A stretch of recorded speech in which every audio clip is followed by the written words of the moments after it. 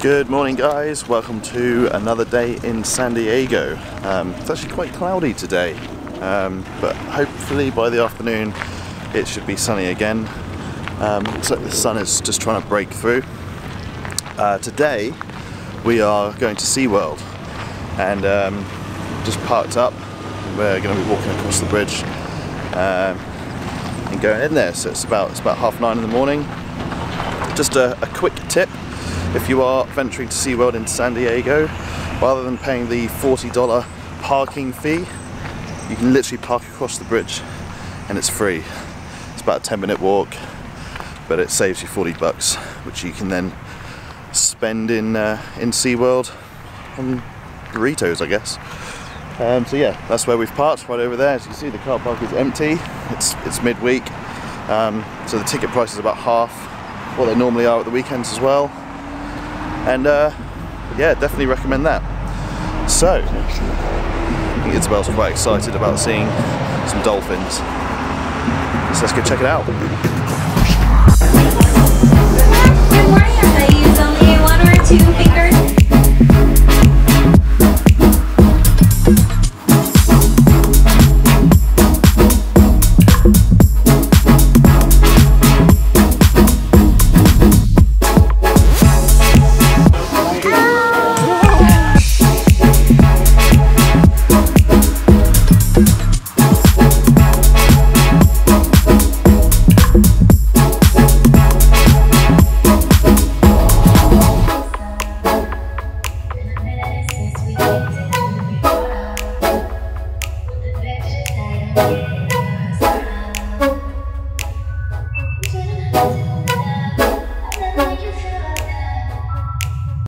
Watch her beautiful darker coloration, showing off how high she can jump. Look to the sky. This is Beaker! And we can't forget about the dedicated team of trainers that cares for these dolphins.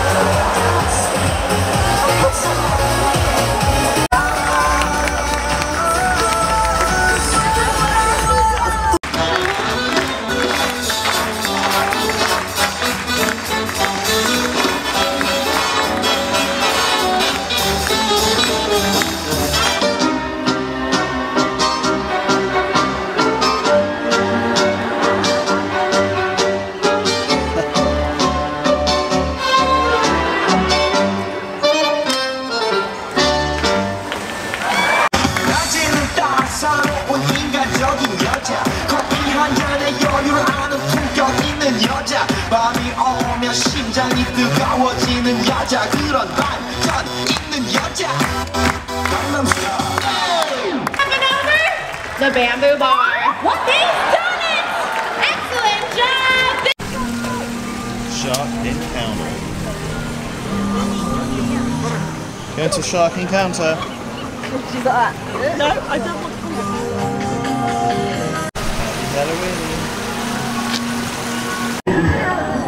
Big boy there.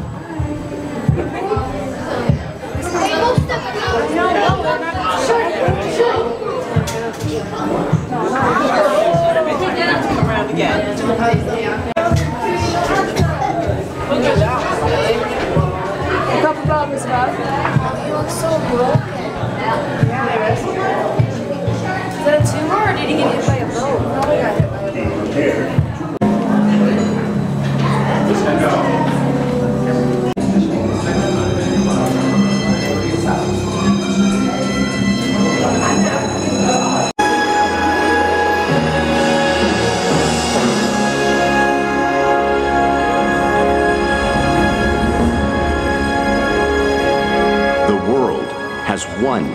Interconnected ocean, a vast, blue expanse, critical to life on Earth.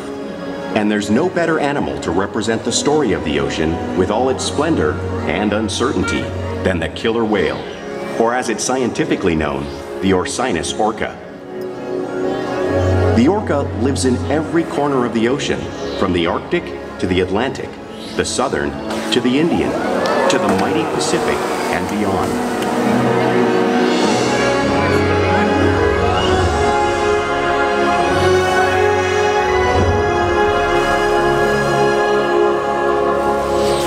This whale story is the ocean's story, and it is one we all share.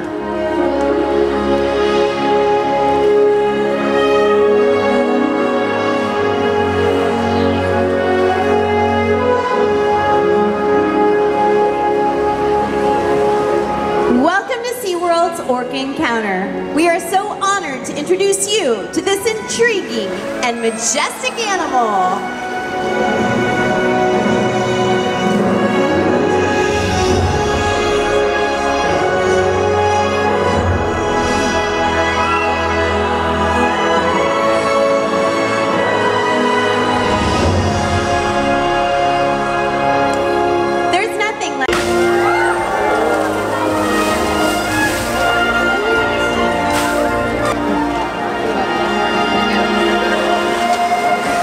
They are found in every ocean, orcas living off the coast of Iceland are quite different than those near Costa Rica. In fact, there are at least 10 types, or ecotypes. When viewed from above, the black of the whale blends in with the dark depths of the ocean.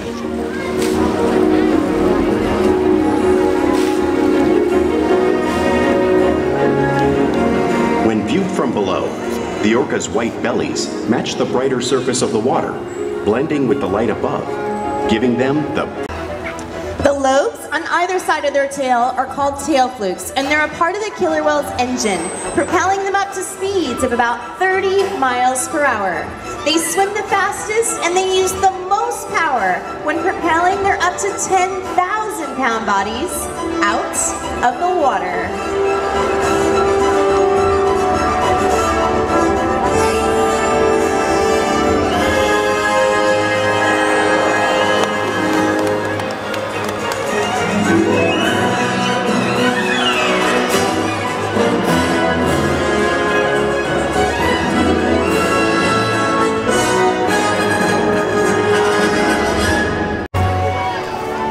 Just half the size of her male counterpart, she is in charge. It's all about attitude, not size. Because they live and work as a group, orcas need to communicate with sounds and body language. Orcas use clicks for echolocation or navigation.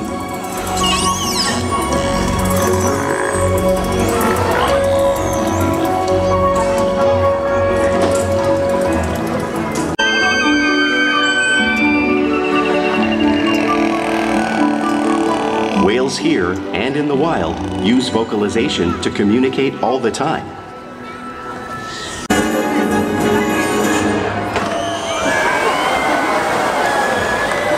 Spy hopping is how killer whales coordinate and get a better view of their surroundings while they hunt. With the fish confused and contained, the whales stun them with their powerful tail flukes, making for an easy meal.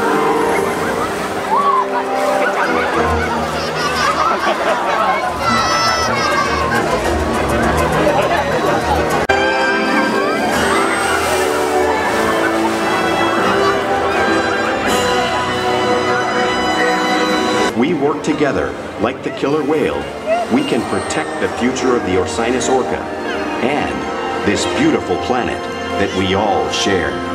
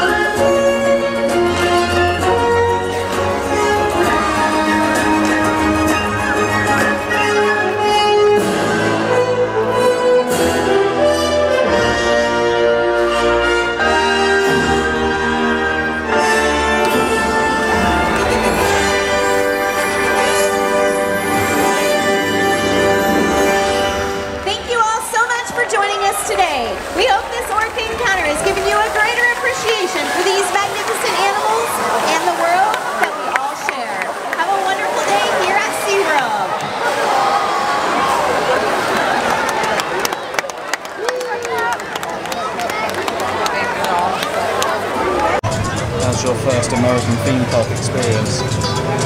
Yeah, very good. Good. Well, that's it. That's your report. it's very good. No, it's totally different to the UK, as in the theming is everywhere. So.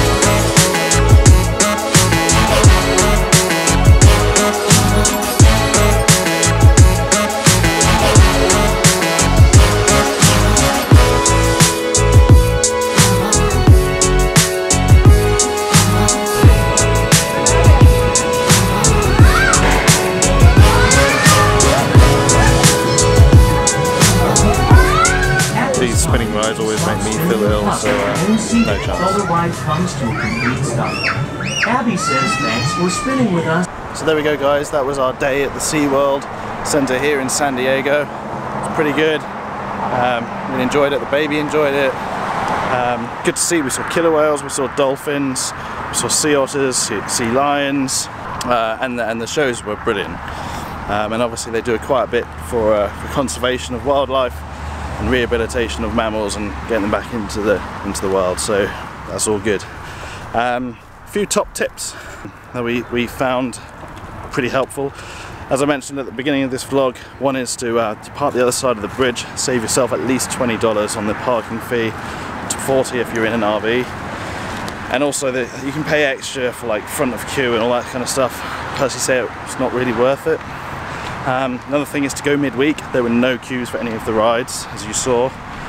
Um, so there's no need to pay extra for fast passes, although I can imagine on a weekend and peak season it's probably going to be pretty busy. This is mid-September, still beautiful. It's 20 odd degrees outside, Celsius. Um, if you are going to get there and you want to get the ride, do the rides early in the morning. Right, uh, they do get a bit busier later on. Uh, if you want to see the, the Orca exhibition, definitely get there at least half an hour early. It does fill up pretty quickly, and I imagine that's even busier at uh, peak season. Um, what else?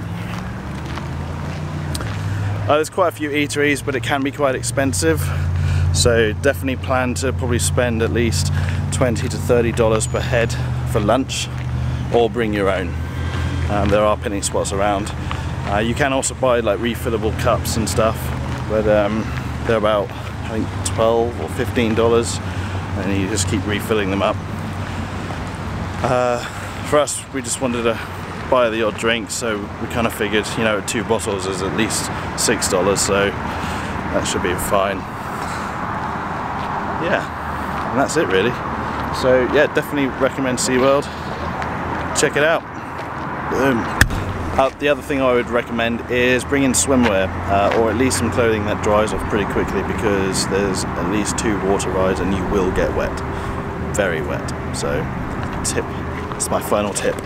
Cheers.